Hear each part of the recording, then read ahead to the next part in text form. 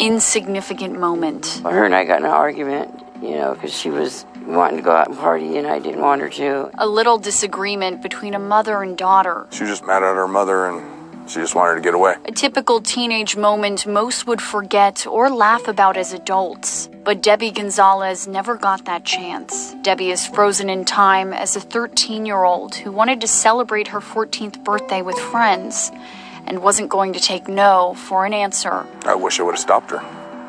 You know, wish I did more. I always think that. Debbie left her Federal Way home in August of 1987 and never came back. Teenagers back then, we were different than the teenagers are now. Uh, a lot of us were very rebellious and wanted to do what we wanted to do, but uh, you know, we got to come home and grow up and still, you know, be here and live, live a life. She didn't. Debbie's family knew deep down something awful had happened soon after she didn't come home, but that glimmer of hope stuck with them until detectives came to their door with a question. They asked specifically if she was wearing uh, an ankle bracelet with a little charm on it. And she was. I remember her wearing that. We broke down instantly. My heart just like it fell to the floor. Because your child's not supposed to go before you do.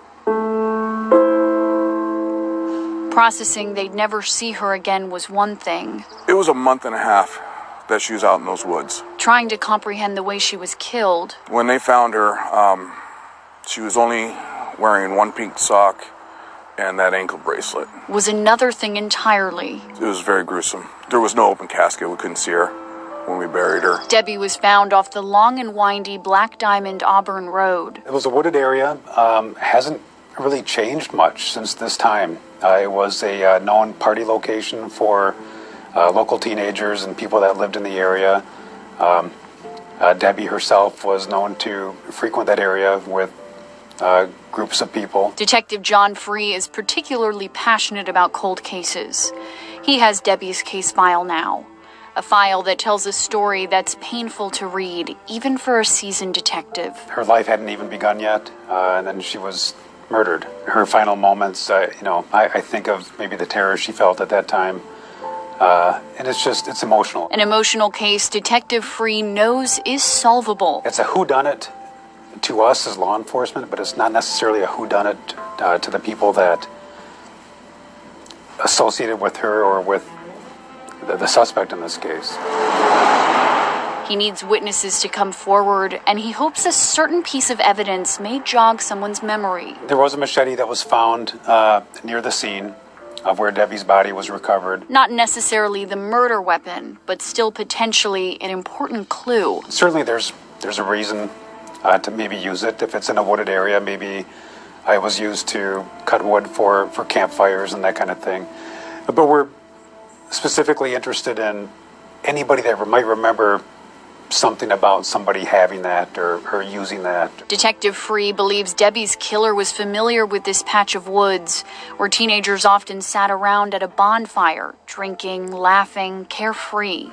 Investigators think the killer likely blended in. Science can take it so far, but sometimes it just takes that one person that uh, remembers something that can really break the case wide open. It wasn't the same person. Debbie's family will never again be the people they were before her murder. I never got to see her get married, have kids. She missed all that.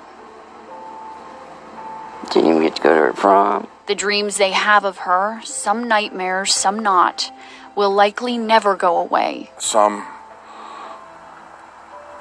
are her being here and then losing her again over and over and over.